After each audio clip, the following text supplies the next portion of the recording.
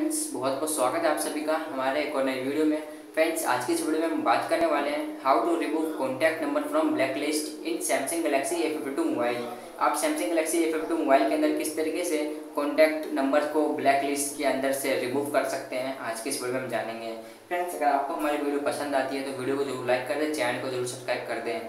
Friends ये आपको करना है आपको अपने सैमसंग गलेक्सी मोबाइल के यहाँ पे कॉन्टैक्ट एप्लीकेशन को ओपन करना है और ओपन करते फ्रेंड्स थ्री डॉट आइकन पे क्लिक करके यहाँ पे सेटिंग में आ जाना है। फ्रेंड्स सेटिंग में आ जाएँगे तो आपको यहाँ पे क्लिक करना क्या होगा ब्लॉक नंबर्स पर क्लिक कर देना है। ब्लॉक नंबर पर क्लिक करने के बाद फ्रेंड्स आपका यहाँ पे ब्लैक लिस्ट ओपन हो जाएगा। तो यहाँ पे जितने भी नंबर ऐड है, यहाँ पे ब्लैक लिस्ट के अंदर माइनस यहाँ पे शो हो चुका है। तो ये मेरे कॉन्टैक्ट ये वो कॉन्टैक्ट है जो मैंने ब्लॉक किए हुए हैं ब्लैक लिस्ट में ऐड किए हुए हैं। इनको रिमूव करने के लिए आपको माइनस पे क्लिक करना है आपका कॉन्टैक्ट नंबर रिमूव हो जाएगा। तो फ्रेंड्स यहाँ पे इसलिए आप कॉन्टैक्ट नंबर को ऐड भी कर सकते हैं। एस फ्रेंड्स ऐड कर देते हैं और इसको रिमूव करने के लिए आपको माइनस पे क्लिक करना है तो इजीली रिमूव हो जाएगा ब्लैक लिस्ट से कॉन्टैक्ट नंबर तो उम्मीद करता हूँ फ्रेंड्स ये वीडियो आपको पसंद आई तो वीडियो को लाइक करें चैनल को सब्सक्राइब कर दें।